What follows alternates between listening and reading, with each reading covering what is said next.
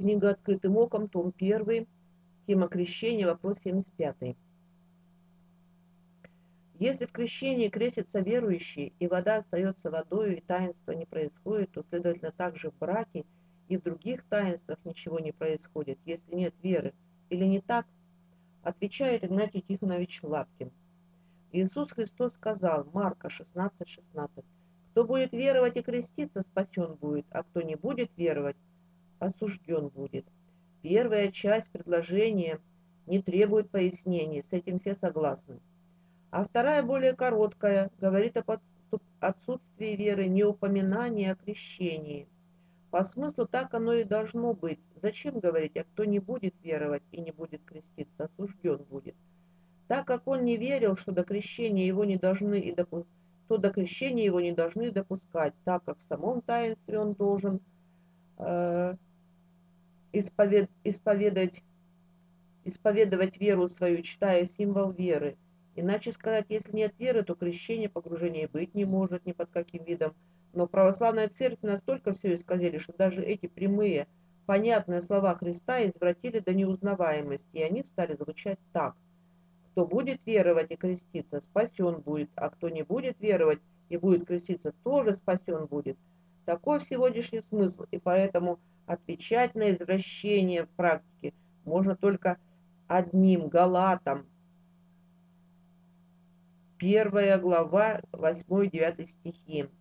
Но если бы даже мы или ангел с неба стал благовествовать вам не то, что мы благовествовали вам, да будет анафема. Как прежде мы сказали, так и теперь еще говорю, кто благовествует вам не то, что вы приняли, да будет анафема.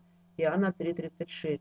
Верующий Сына имеет жизнь вечную, а неверующий в Сына не увидит жизни, но гнев Божий пребывает на нем. Сказанное здесь неопровержимо подтверждается священным писанием и словами Григория Низкого. Вопрос в другом, что делать такому человеку, который не только в детстве, но и взрослый, или по меркантильным интересам, или по заданию редакции, или на спор принял правильное крещение с троекратным погружением. А потом, спустя какое-то время, он по-настоящему обратился к Богу. Как ему теперь быть? Зачитывать ли то, крещ... засчитывать ли то крещение или повторить таинство, но уже с верой. В рассуждении каждого вопроса мы должны нащупать и определить сначала твердые незыблемые столпы, то есть указания из Библии, и все, все остальные доводы выводы подгонять, подводить, несмотря ни на какие различные конфигурации стен, только бы никак не повреждать эти столпы.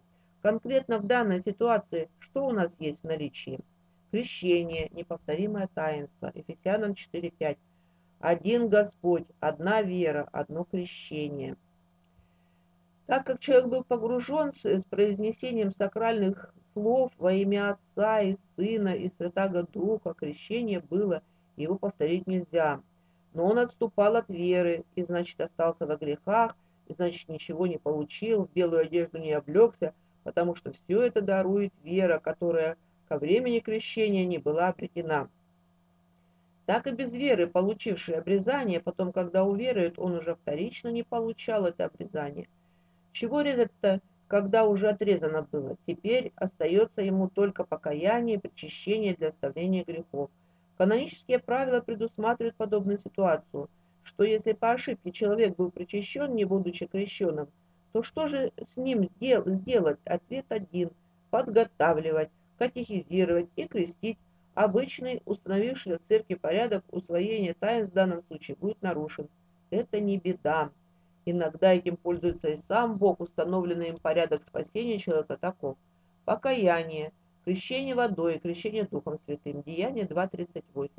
Петр, Петр же сказал им, покайтесь, и докрестится каждый из вас во имя Иисуса Христа для прощения грехов и получите дар Святого Духа.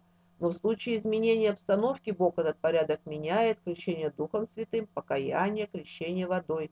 Деяние 11.44 э, по 48 стих. Когда Петр еще продолжал эту речь, Дух Святый сошел на всех, слушавших Слово, и верующие из обрезанных, пришедшие с Петром, изумились, что дар Святого Духа излился и на язычников, ибо слышали их говорящих языками и величающих Бога. Тогда Петр сказал, Кто может запретить креститься водой тем, которые, как и мы, получили Святого Духа, и велел им креститься во имя Иисуса Христа? Потом они просили его пробыть у них несколько дней. Подобный вопрос возникает сегодня при рассмотрении истинности рукоположения священников, у которых нет истинного крещения с троекратным погружением. Начинаем подобные же рассуждения сначала. Главный столб тот, кто, что кто не будет веровать и креститься, то будет осужден, не будет спасен. Значит, эти священники, обливанцы, окропленцы, некрещенные – и они непременно должны быть крещены, чтобы спастись. Обычный порядок усвоения таинств такой, покаяние, крещение водой, крещение Духом Святым. Мыслится, что это заменено миропомазанием, причастие, рукоположение. В данном случае порядок, как и с незаконно причастившимися. Таинство рукоположения остается в силе, и нужно принять водное крещение, спрашивая благодать Святого Духа. Некоторые считают, что данные доказательства очень зыбки, неубедительны. Таковым может сказать таковым можем сказать мирской пословице, что купил, зато и продаю. По этой теме в наличии более ничего нет ни в Священном Писании, ни в канонах. Посмотрите на доводы апостола Павла. Сколько в них зыбкости, натянутости, вычеркнутости – насколько нелегко опровержимые, особенно в посланиях римлянам, галатам и евреям. Но другого ничего в наличии не было, и эти доводы считаются самыми прочными. Например, случалось, что человек занимал какое-то положение в духовной иерархии у евреев, и он был не обрезан. Что делать? Всегда обрезывали, оставляя в сущем сане. А если он был обрезан в освиненном возрасте, а обрезан в языческой среде, был коммунистом и, придя в возраст, стал мыслить по-иудейски – и теперь, уверовав в необходимость закона и в обрезании, то нужно ли было ему повторять этот обряд или утверждался восьмидневным? Так точно с крещением, принятым без веры, но с полным погружением. Колосинам 2, стихи 11-12. В нем вы и обрезаны обрезанием нерукотворенным, совлечением греховного тела плоти, обрезанием Христовым, быв погребены с ним в крещении. В нем вы и совоскресли верою, силу Бога, который воскресил его из мертвых.